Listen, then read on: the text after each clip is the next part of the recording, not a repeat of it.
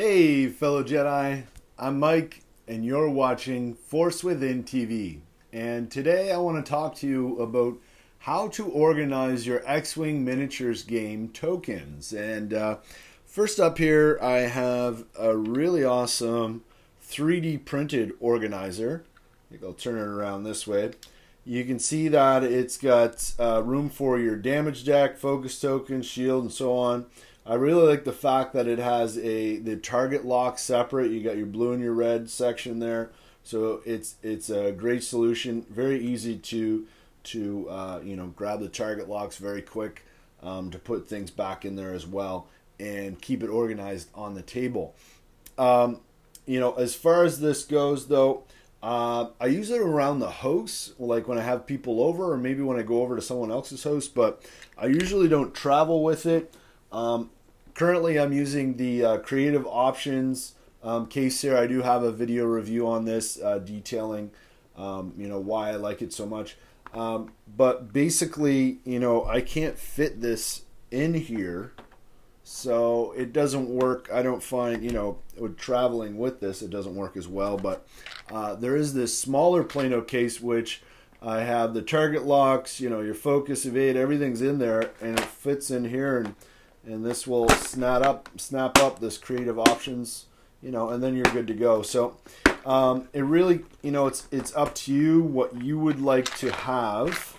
Um, will just put that down. You can see the plano case uh, very easy. It doesn't take up a lot of a lot of space. You can see the size of my hand there right?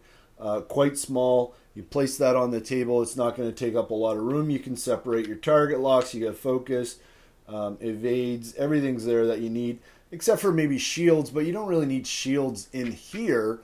Um, I usually put them in the larger case and then just take them out at the beginning of the game, right? So, um, so that that is easy. Uh, I should just come back quickly to the 3D printed version here and say that uh, on eBay, and I'll have links of this in the video description. But on eBay, you can pick this up. Um, it's got a top that comes with it as well. So if you do have, say, other than the Creative Options plastic kit that I just showed you, if you have something larger, you can definitely uh, put that top on it, take it, or even put this in a bag and, and away you go, right? So um, that's pretty easy. There's also another solution here that a lot of people uh, seem to enjoy uh, just looking online, and that is a, a double-sided Plano tackle box.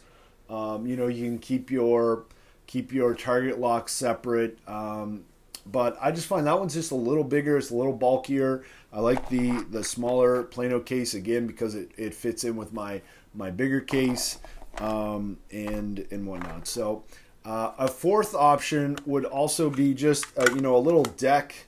Um, uh, if you're a card player, uh, you probably have a few of these kicking around, and it's uh, a deck case, I should say, not a, a, deck of cards, but it's just for cards, and you can just throw your tokens in here. And I mean, this this really doesn't take up a lot of space on the um, on the table, right? It's not the most convenient if you just have them sort of all in there. It's going to be hard to to sort of find your different target locks uh, and, and whatnot. But especially if you're just playing with two ships right? You're not you're not going to have a lot of tokens or have a need for a lot of tokens. So uh, this can be a good solution, especially if you're going to a tournament and you know there's going to be a ton of people there and they're just going to cram people. You know those three by three mats or whatever are just going to be crammed uh, right next to each other, and you're really not going to have a little space.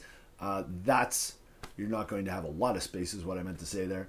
Uh, that's a good solution as well for those types of situations. But um, always a good idea, guys. Uh, always a good idea to keep your tokens um, organized. You know, um, if you have them all over, spread all over the table. Um, I know some games can get a little intense, and you're you're trying to find your tokens. But if you have something to put them in, um, you know you're going to be less flustered trying to find the right token.